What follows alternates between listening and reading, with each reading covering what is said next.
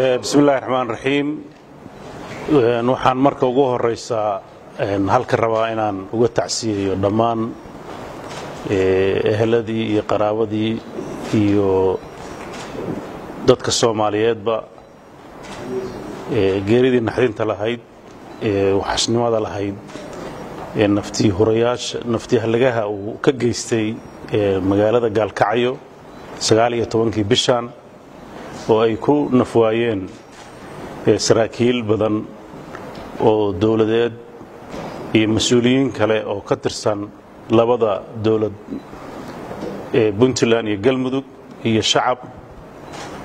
Waxaan ilaahay uga baryayaa intii ku geeriyootay halkaasoo shuhadada ahayd inuu naxariistii janno uu siiyo eheladii iyo qaraabadii ay ka geeriyoodeen samir iyo imaan uu ka siiyo dowladaha puntland iyo galmudugna uu iyagana samir gaar ah ka siiyo maadaama ay u ahaayeen halbowlayaal runtii danaha ummadda soomaaliyeed ka shaqaynayay. Tacsidaas kadib waxaa maanta oo halka nagu qabsoomay shir laba geesooda oo dowladda puntland iyo galmudug ay ku yeesheen oo ay kala hogaaminayeen labadeenna madaxweyne xubnona ka ahaayeen wasiiro iyo sanataro iyo xildhibaano ka soo kala jeeda labada maamul shirkaasoo runtii ahmiyad iyo wakhti gaara ku soo aaday. Gundhigiisa uu ahaa sidii loo dardargelin lahaa howlihii shirkan shirkii ka horreeyey lagu yeesha gaalkacyo dib loogu eegi lahaa wixii ka qabsoomay iyo wixii qabyada ka ahaa iyo xaaladda khatarta amni ee soo korodhay sida aragti midaysan looga yeelan lahaa waxaan runtii isku afgarannay inaan nabadgelyada iyo horumarka gaar ahaan labada maamul iyo guud ahaan soomaaliyaba ka wada shaqayno waxaan u rajaynaynaa shucuubta soomaaliyeed meel kasta ku nooshaa iyo gaar ahaan labada bulsho ee ku kala nool. Labadan degaan dadaalkii faraha badnaa oo isdhexgalka iyo nabadda iyo horumarka iyo ka shaqaynta la dagaalanka argixisada meeshii ay ka wadeen inay hore u mariyaan. Waxaan sidoo kaleeto iska waraysannay xaaladda ee dalku marayo oo runtii marxalad markii horena shirkii halka aan isugu nimid uu ka dhashay inay qabsoomaan shirarkii dhuusamareeb one iyo two iyo tree iyo kii xamar lagu gaaray. Intaba waxaa saldhig u ahaa shirkii magaalada gaalkacyo ku dhex maray labada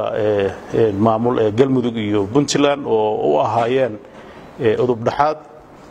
waxay haddana istusiyeen maadaama heshiiskii hore la gaaray sebtembar meelaha qaarkood madmadow ka soo noqday haddana inay u istaagaan sidii ay sidii ummadda soomaaliyeed markii horeba ay ugu taagnaayeen inay iyadana mar labaad u istaagaan sidii ay arrimaha jira wax uga qaban lahaayeen si dalka xasiloonidiisa iyo horumarkiisa loogu shaqeeyo nabaddiisa loo xoojiyo doorasho laysla ogol yahay ay u dhacdo dhammaan dadka soomaaliyeedna wax ku ool ugu noqoto. Waxaan rajaynaynaa haddii ilaahay idmo annagoo xilkaa uuna saaran yahay isxilqaan dheeriyana isi saarnay kaashanayna waxgaradka iyo mas'uuliyiinta kale ee labada maamul ka tirsan iyo dhammaan dowladaha kale xubnaha ka ah dowladda soomaaliya iyo dowladda federaalka ah iyo cid walba oo runtii ka danqanaysa horumarka dalka iyo cid walba oo danaynaysa inay doorashadu si wanaagsan u qabsoonto inaan kala shaqayno sidii aan isugu soo dhoweyn lahayn una turxaan bixin lahayn haddii kala aragti duwanaan ay jirto. Waxaan ku kalsoonahay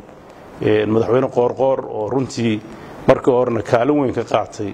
qabsoomidda shirarkaas iyo inta natiijadeeda maanta la gaaray waxaan rajaynayaa haddana runtii muddadii hadda u dambayso xamar joogay ku howlannaa siduu arrimaha wax ugu qaban lahaa. Annaguna inaan gacan ku siinno howlahaas baaxadda le hore ugu jiray. Annaguna waxaan ku kabno intii karaankeenna ah isu soo dadka soomaaliyeed iyo sidii loo ilaalin lahaa xasiloonnida hadda la haysto. Loogana hortegi lahaa cid kasta oo xasilooni darrada ummaddan u horseedaysa. Waxaan ku baaqaynaa meel kasta oo qalalaaso iyo dhibaatooyin colaadeed ay ka jiraan waayadan dambe waa laga lenayahay ay ka dhici karto in waan waan iyo is-afgarad iyo xal shucuubtaas iyo dadkaas meesha ku wada nool ay ka gaaraan. Waxaan ummadda soomaaliyeed ugu baaqaynaa kala aragtiduwanaad siyaasadeed inayna colaad sokeeye aysan dhalin oo mar walba aragtiduwanaanta siyaasadeed lagu xaliyo wada hadal iyo waddooyinka doorashada. Qorigu inuusan xal noqon caadifaddana la xakameeyo. Waxaana bulshada soomaaliyeed meel kastay joogta u rajaynaynaa guul iyo horumar. Intaas ayaan anigu uga baxayaa. Waxaan ku soo dhowaynayaa madaxweynaha oo runtii maanta gaalkacyo aan marti ugu ahay. Mar hadduu isagu ayaantan halka joogay gaalkacyana waxaan u rajaynayaa